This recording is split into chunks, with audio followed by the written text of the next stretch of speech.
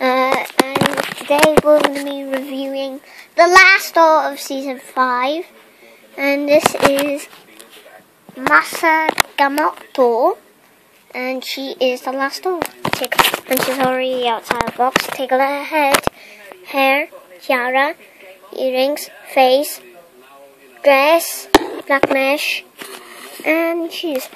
And I'll see you guys. Bye!